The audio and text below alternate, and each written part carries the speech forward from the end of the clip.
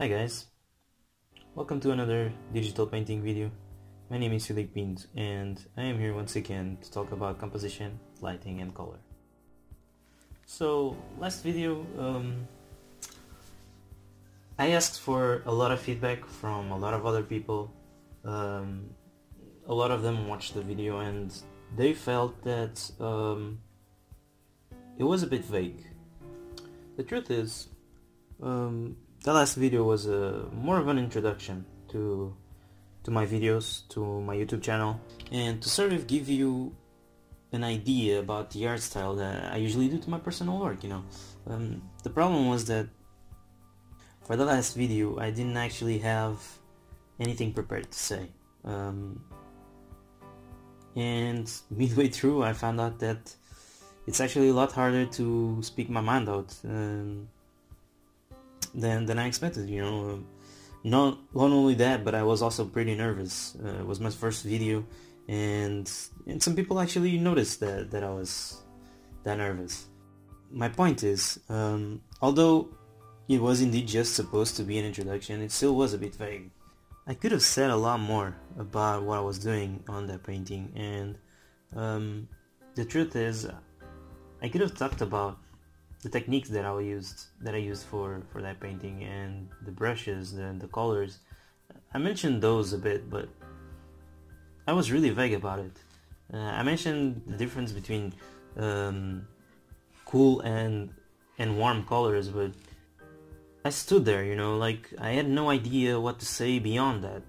Uh, and not that that I didn't know what to say I just didn't prepare myself for what I wanted to say you know uh, because it's it, there's a difference between wanting to say something and actually know what you need to say.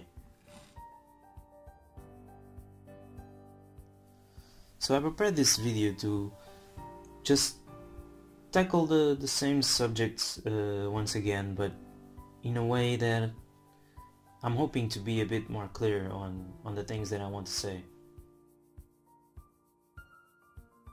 So in this painting I I actually started with the with a line sketch just like uh, in the last video but I didn't really know what I wanted to do. Uh, I knew I wanted to do a city but that was pretty much it. Uh, I didn't know what, what sort of city it was, uh, if it was uh, sort of medieval fantasy like or just sci-fi or uh, or something like that but as you can see I even though I started with uh, just medieval sort of ruins kind of style, uh, I ended up with uh, this mix between fantasy and Star Wars kind of kind of city. Um, but for for this painting, I really wanted to just focus on the designing of the city and. The truth is, I, have been practicing cities, uh, using different shapes, using different architecture, um, because of my my personal project. That's the main reason. Um, and I really wanted to try to do just another another city from afar, uh, but uh, sort of in a different style. Um, I've done a painting uh, of a futuristic uh, city. Uh, I'll leave the link in the description if you if you're interested. Uh, but I did it not very long ago, but it was it was pretty futuristic and um, I wanted to try something a bit different, a little bit more fantasy, but still futuristic, you know what I mean? Um, so yeah, um, at this point, uh, most of what I did was just trying to adjust all the colors and the composition of the whole painting uh, to set it in the mood. Um, and in this case, uh, I really, uh, a really uh, huge uh, futuristic fantasy-like city in the middle of the desert and in a way to also uh, also show a few of the of the locals in it you know um, to sort of make it a bit populated. That's why uh, I put these two guys on the on the foreground um, along with a few I don't know huts I guess um, metal huts um, or shacks I don't know um, or something like that but these foreground elements uh, help a lot with the with this with that with that specific need to make it populated you know because it's really important to sort of give life to your environments. Uh, in my case I tend to do this quite a lot in, in the bad way uh, which I basically sort of build a whole environment. I design it properly. I make really good composition. Uh, I give it uh, good colors and good shapes but then I tend to just not make it really that interesting you know because nothing's happening in it and there's there's no one. It's, it's just empty. Uh, an empty space with some really tall buildings or something like that you know and uh, even even some some really uh, good artists sometimes make this mistake which is basically not populate your own world. If you're creating a world uh, it's really important to to sort of show a bit of the life in it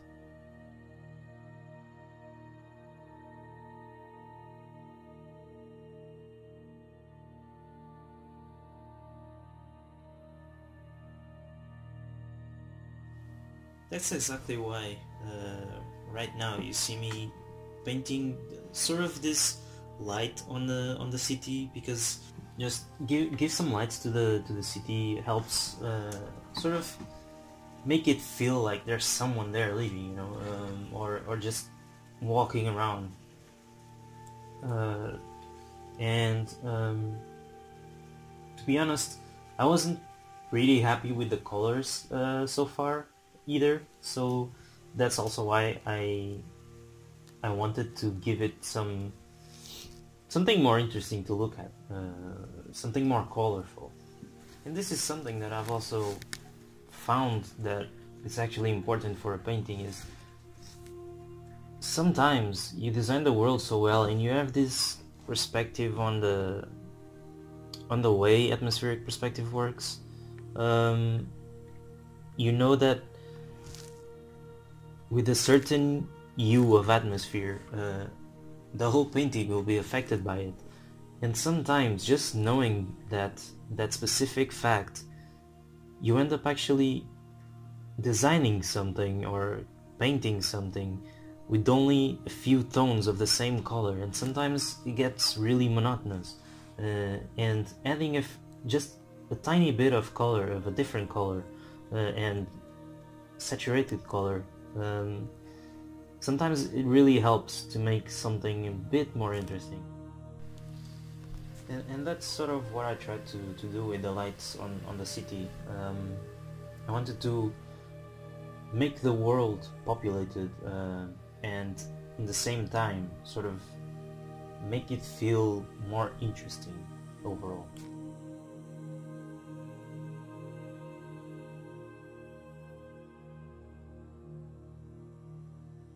So at this point, I, I have pretty much all the all the colors and all the all the shapes, all the, the architecture and the, the mood I want uh, in it defined.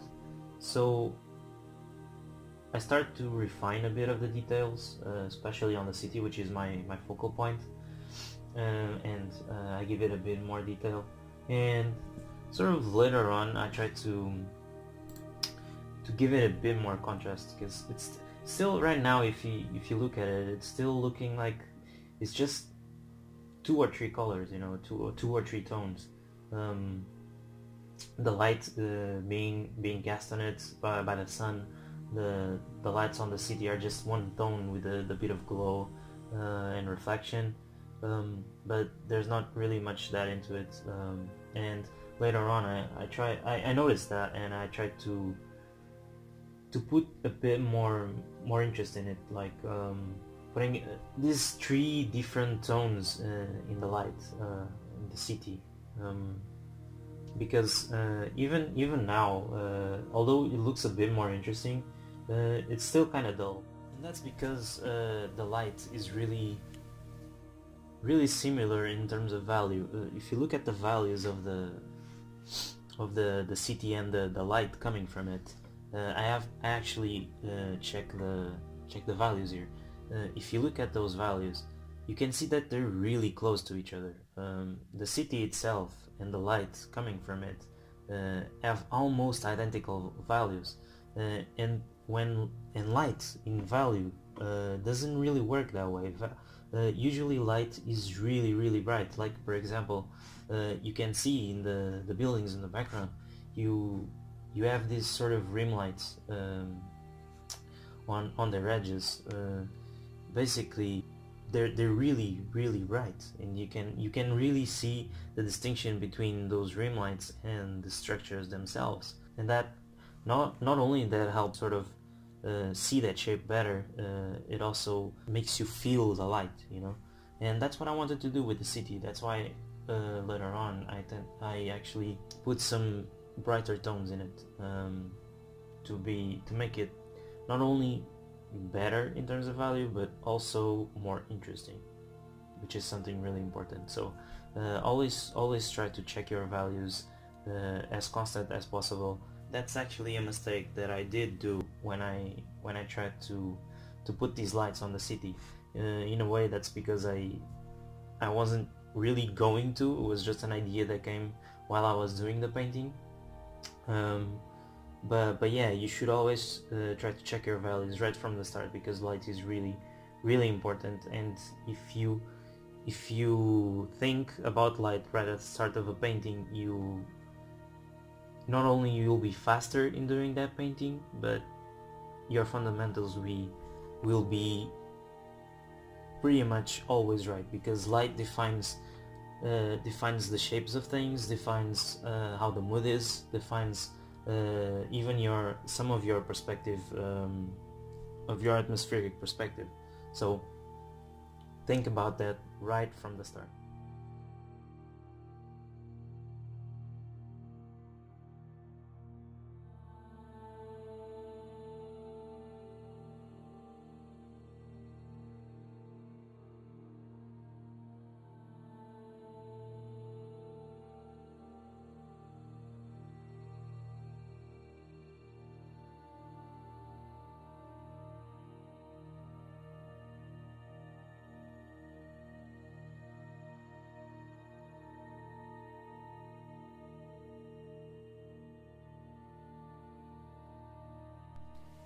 So right now I'm just in the last stages of, of detailing and making everything look a little bit more crispier uh, and more sort of edgy, you know, um, more well defined.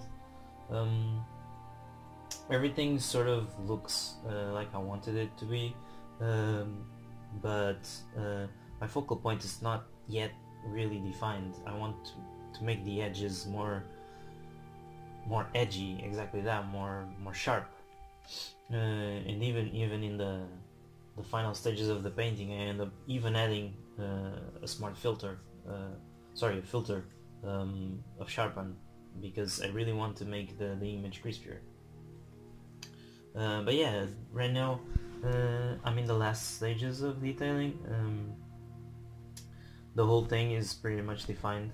And the funny thing is that uh, after I actually start stopped detailing everything uh, and sort of had exactly what I wanted, um, I showed this uh, on on my Facebook page and on uh, and at work, and uh, a few friends uh, gave me some feedback, and uh, my my art lead actually gave me some advice and some some feedback about the the work that I just did uh, it was it was exactly one of the the major topics of this uh, of this video, which was basically how to populate and uh, how to make an illustration sort of uh, more interesting, you know. And um, one of those things was that the the characters on the foreground they they look just pretty much still, you know, like they were they were just standing there looking at the at the city, which which is not a bad thing in terms of composition because it sort of helps you steer your eye to, towards the painting and look at your focal point. Uh, and in this case, it was the city, and they were looking at the city, so it made sense. But the truth is, the city was already with so much contrast, uh, and uh, there was so ma- there's already so many imaginary lines uh, guiding your eye uh, towards that city that the first thing you actually end up seeing when you first look at the, the image uh, zoomed out is is the city itself, and you don't really look at the other things in the in the painting. Uh, I mean, you sort of get the hint that they exist, but you don't look through it bec- because the city is the only thing calling your attention. Um, so it gives me this idea uh, of putting at least one of those uh, of those guys uh, in the foreground to just instead of being just standing there, uh, make them sort of doing something. You know, like you gave me a couple ideas, and one of them was to sort of instead of having him standing uh, beside his bike, he was actually standing on it, uh, riding it to, uh, towards the city, would be a lot more interesting. And uh, I actually ended up uh, later uh, changing the painting and making that change. And I have to say, it was a really, really nice feedback. And this is something that also improves your sort of your your final product, your final artworks, which is um, get constant feedback you know um, ask your friends ask, ask your family uh, ask artists um, especially artists to to give some feedback on on your work and it helps a lot uh, I know that ever ever since I started work uh, working at uh, at my company um, I never I never actually had constructive feedback from from someone I always had those, those compliments and those negative critics, but never actually critic feedback about uh, what I should do or should not do and why. And ever since I started working at the company, I actually added and I can really see uh, how that changes the way the way you look at something, uh, and uh, and it helps a lot. So get constant feedback. Uh, it makes everything a lot easier. And once again uh, having something happening in the illustration in the in the in their final concept uh, also helps helps the image be a little bit more interesting so don't just put something there standing still looking at something. Uh, it's not really really that interesting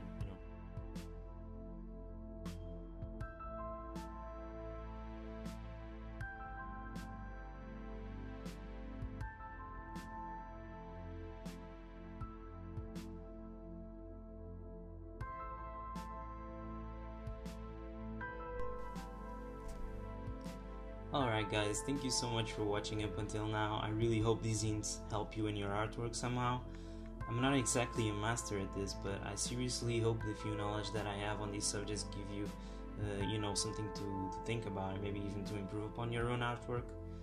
I honestly hope I've done a better job with this video than I did last time. Last video was really vague and I wanted to make things clearer, so I really hope I, I was able to do that with this video it was still a bit hard for me to, to talk this much to be honest but i really hope i can improve on that and maybe even become better uh, at this for, for the next videos.